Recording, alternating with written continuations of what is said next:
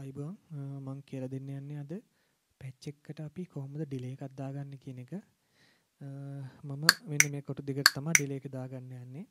ඉතින් ඉස්සෙල්ලාම මුලින්ම අපි එඩිට් කියන ඔප්ෂන් එකකින් මෙතන මේ පල්ලෙහාම තියෙන fxn කියන එකට එනවා.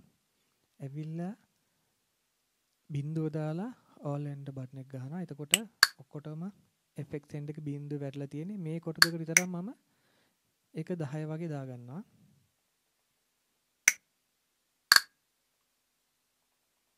ඊට පස්සේ මෙතනින් උඩට ඇවිල්ලා මෙතන FX on off එකෙන් මේක ඉෆෙක්ට් එක ඔන් කරගන්න. දැන් මෙතන තියෙන්නේ රිවර්බ් එක.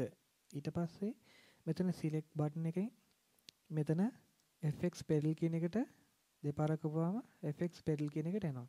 ඊට පස්සේ මෙතන උඩින්ම තියෙන්නේ අපි දාගන්න ඉෆෙක්ට් එකේ මෝඩ් එක තමයි තියෙන්නේ. මේ මෙතන රිවර්බ් තියෙනවා, ඩිලේ, ෆ්ලෑන්ග්, කෝරස් ඒ වගේ තියෙනවා.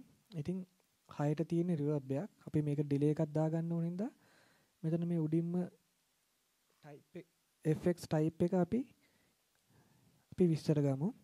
ඉතින් තමයි ඩිලේ තියෙන්නේ. මේ විදිහට විස්තර ගත්තට පස්සේ මෙතනින් දෙවෙනි එක FX time එක තියෙනවා. මෙතන time එකෙන් අපිට පුළුවන් ඩිලේ එක වදින තැන හදන්න පුළුවන් මෙතන. දැන් මේක දුරින් වදින්න ඕන නම් අපි මේක දාන්න පුළුවන් මේ විදිහට 32ට එනකන් තියෙනවා. එතකොට ගැහුවට පස්සේ ඩිලේ එක ටිකක් පරක් වෙලා තමයි ඇහෙන්නේ. අපිට මේක ලං කරගන්න ඕන නම් ළඟම හෙන්න ඕන නම් මේක අඩු කරනවා මුලට. ඔය. එතකොට ළඟම තමයි ඒක ඇහෙන්නේ. ඒකෙන් තමයි මේ ටයිම් එකෙන් තමයි ගොඩක් අපි ඩිලේ එකේ වදින තැන තියෙන්නේ කරන්නේ. ඊට පස්සේ මෙතනින් පුළුවන් ලෙවල් එක හදාගන්න.